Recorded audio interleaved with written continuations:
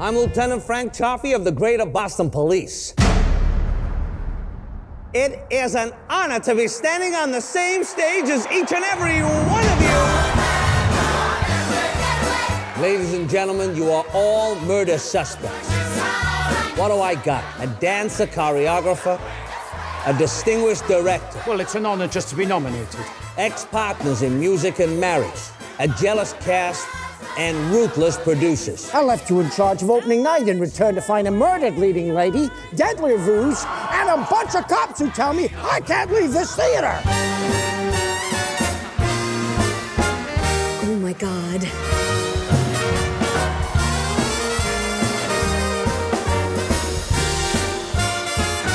Holy crap.